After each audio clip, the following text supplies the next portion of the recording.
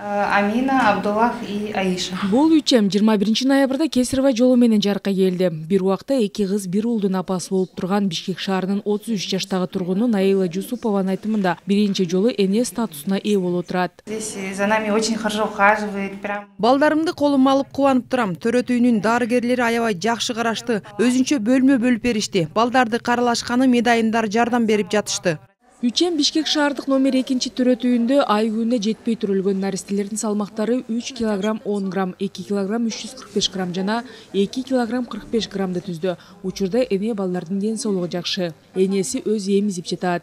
Азыркы маалда балдардын состояниясы энесинин состояниясы удовлетворительный. Балдар э, өз айына жетет болгондуктан алар отделение реанимацияда болушту. Болгон дары дармектер э, жабдуулардын баардыгы менен биз камсыздандырылганбыз ошондуктан бүт э, реанимационный мероприятиялары э, медициналык жардам берилди төрөтканада сегиз күндөн бери дарыгерлердин кароосунда болгон үч эм бүгүн үйүнө чыгарылды. Жакындарынын кубанычында чек жок.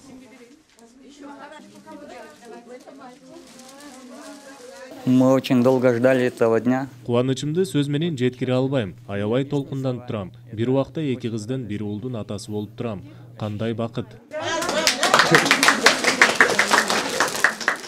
Эске салсак үй бүлөдө бир учурда үч же андан ашык бала төрөлгөн шартта ар бир балага элүү миң сомдон бир жолку балага сүйүнчү жөлөк пулу төлөп берилсин деген министрлер кабинетинин чечими бар. Рахат жаныбекова умар малашев ала тоо жыйырма төрт